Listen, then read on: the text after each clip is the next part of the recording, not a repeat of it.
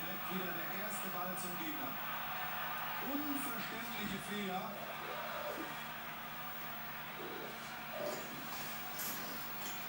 Brunig.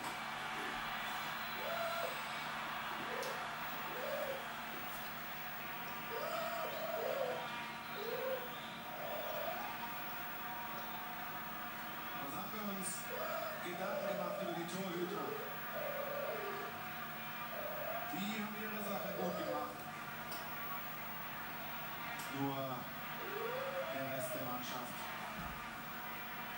von England kam nie so richtig ins hinsitzt.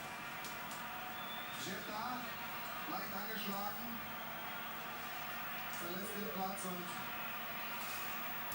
können Mesbal vertraut auch noch machen, die danach entstehen würden, ist natürlich noch nichts verloren. Nach so einem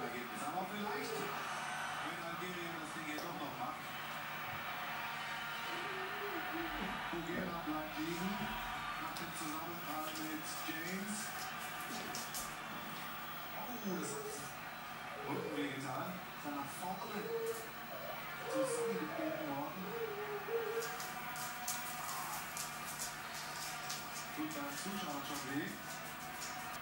Darüber den Weg ins Achtelfinale finden und auch die Algerier sind noch nicht weg. Also dieser Gruppe bleibt alles auf seinem höchsten Niveau.